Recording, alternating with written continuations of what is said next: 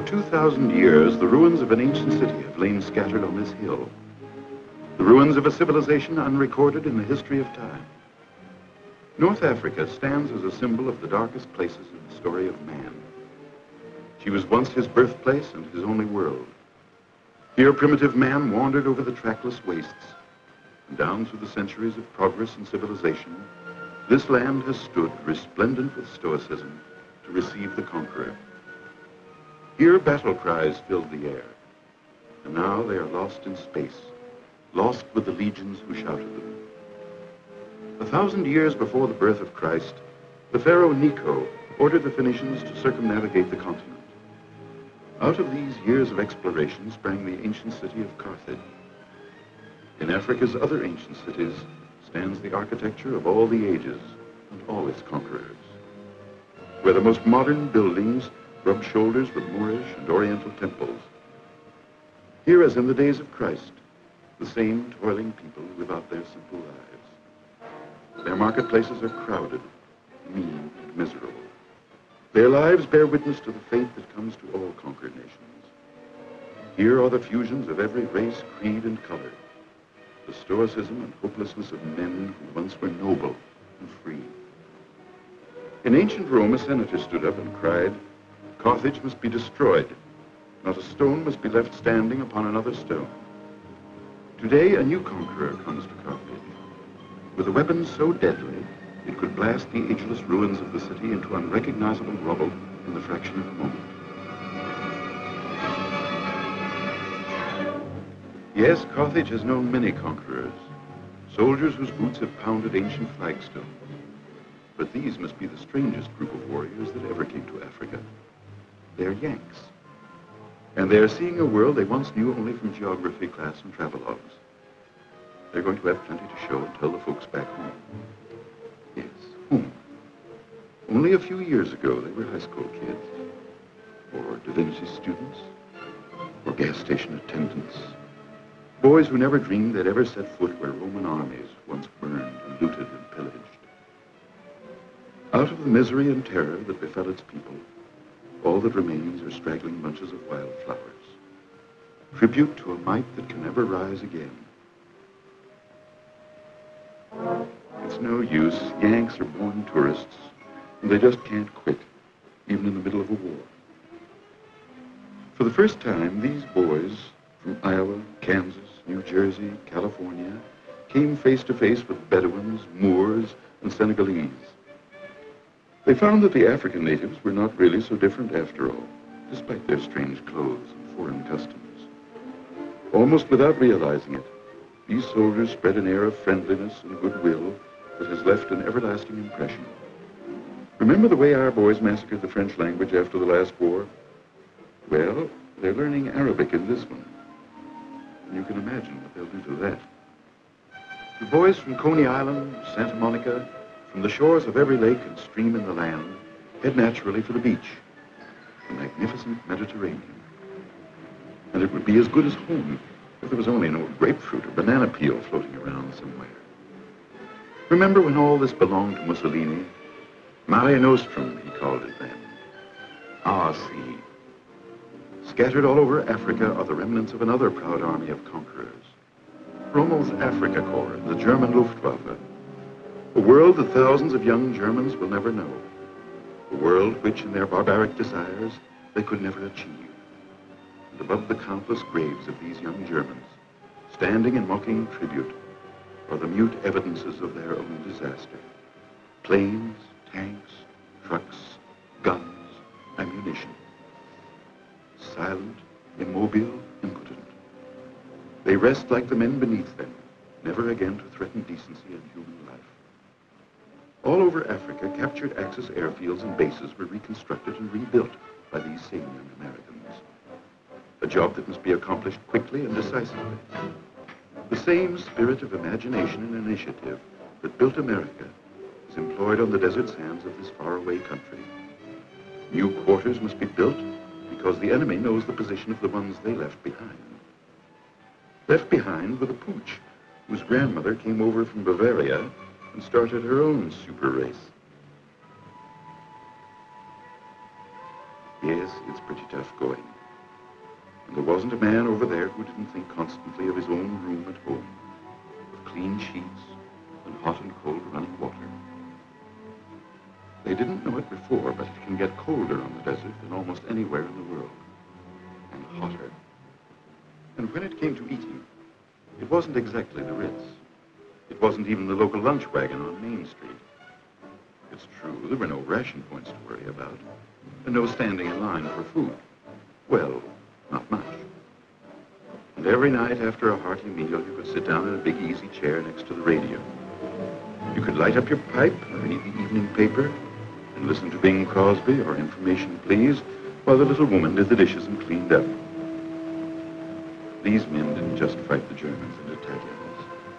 They fought dust and germs and wind and sun and cold 24 hours a day. This particular bunch called themselves the Earthquakers and were part of the 12th Medium Bombardment Group of our 9th Air Force.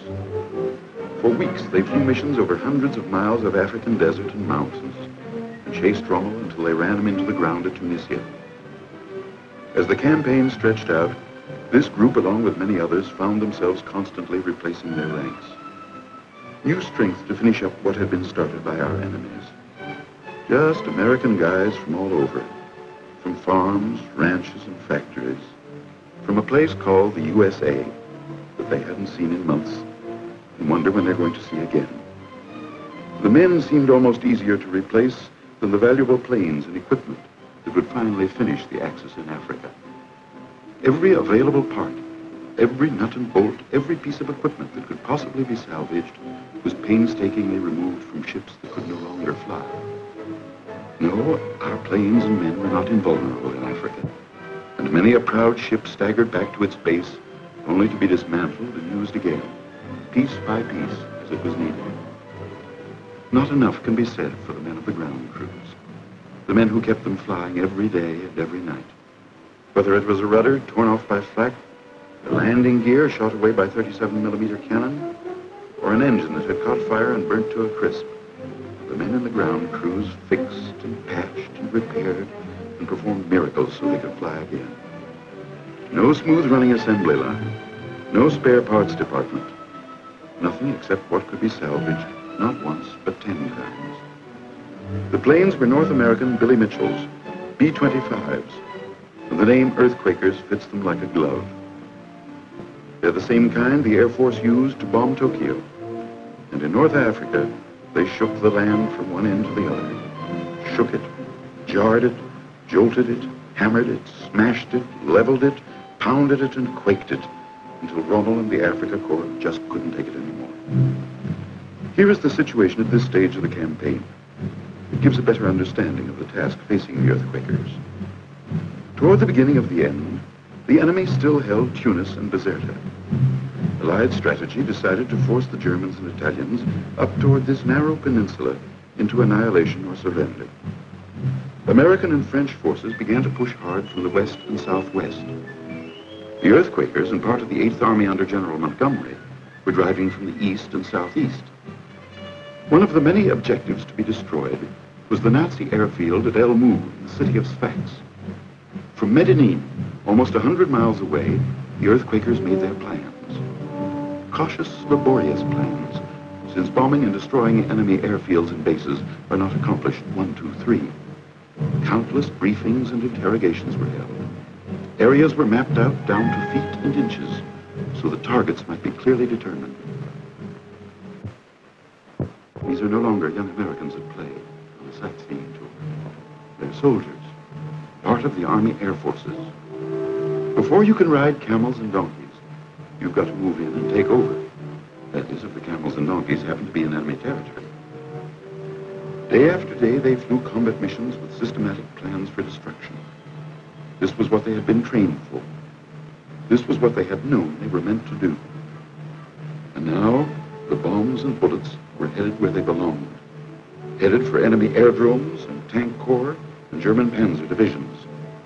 A steady, monotonous, relentless job, devoid of comfort and filled with danger.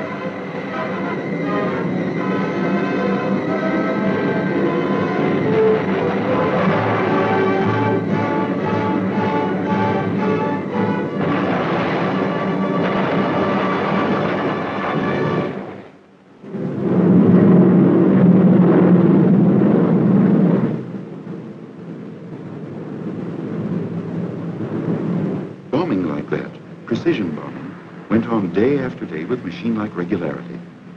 Yes, there were losses, plenty of them. Some ships never made it back to base, and some got there with the fuselage torn almost in half, or the landing gear blown away. For the men waiting on the ground, there's the constant fear that the next landing may be a crash landing. Ambulance crews are on the alert.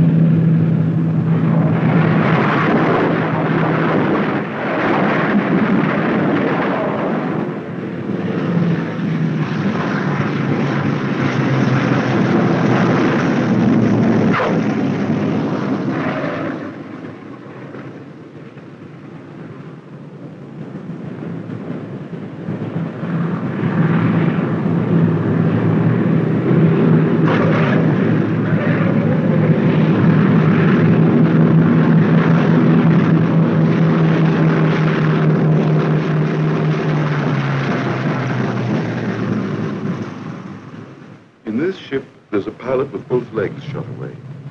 But he's still trying to bring that plane in.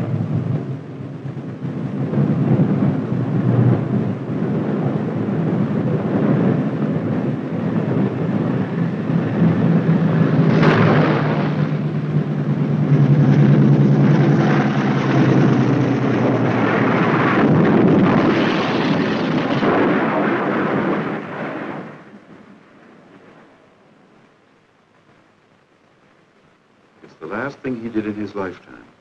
But he brought her in.